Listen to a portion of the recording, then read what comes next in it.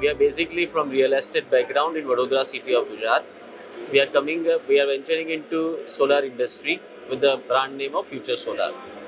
We are coming up with a manufacturing plant of a capacity of 1.2 gigawatt in phase 1 near Vadodara at Karjan.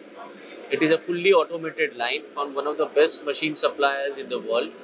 We have got best uh, or fully automated, best latest technology basically. So it's a multi-bus bar line, and we are coming up with TopCon and MonoPerc both. Yes, this is for the Indian model manufacturer. It's a it's a very good opportunity because uh, one crore जो the uh, rooftop segment they, what they have declared it's for this is precisely for the Indian manufacturers. So that we should we are in fact we are planning to grab this opportunity and to cater all the 1000 CR rooftop uh, this uh, uh, policy which declared by PM. So this is a very good opportunity for all Indian manufacturers. So because it's precisely mentioned and they have precisely designed for Indian man- manufacturers. This is a very good opportunity. Hopefully, government is taken back and government is still planning that uh, it will be bet, it will modified in a way which is more beneficial to the Indian manufacturer. So, by issuing a notification once, government has clearly shown its intention to manufacture to safeguard Indian manufacturers. Even whatever the government projects are there with very good subsidiary, subsidy provided by the government is only for the uh, locally made uh, modules basically. So obviously, government is now just analyzing uh, what is the current actual capacity of Indian manufacturers and our Indian manufacturers, India's installed capacity as a whole is capable of catering India's huge demand. So once government is clear on that, government will surely uh, come up with a policy which will surely increase the manufacturing capacity in India. Basically. Indian solar industry has a huge, huge potential. You can see that every uh, current manufacturer is also expanding their capacities like anything.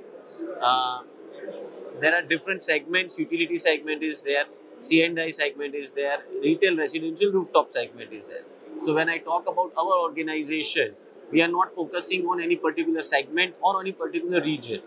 We have separate team who will cater utility segment, se- separate team for the C&I and separate team for the retail segment we will be working pan India because we see there's a huge demand coming from every corner of the country. Even in last two days, we have we have got someone from Chhattisgarh, someone from Uttarakhand, who are asking us that we have that when we can get the modules.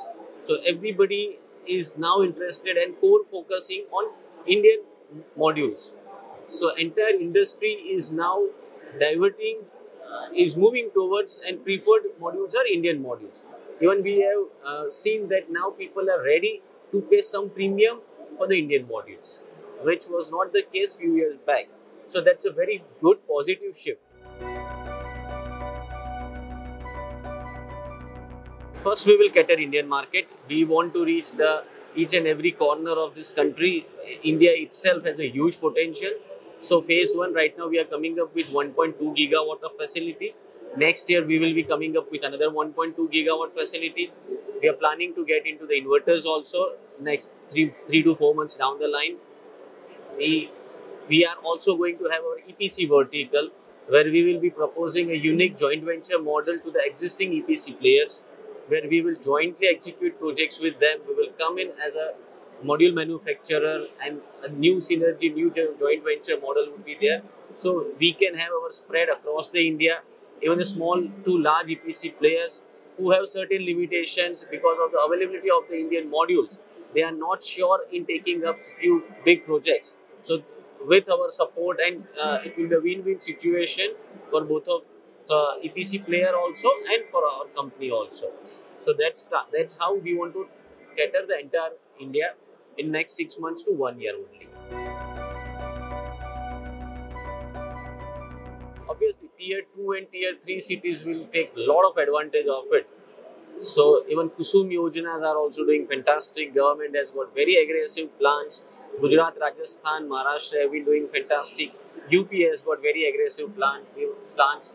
So government is very proactive across all the parts of the country, and now the I think the restriction or the requirements to become an EPC player has also been uh, eased out.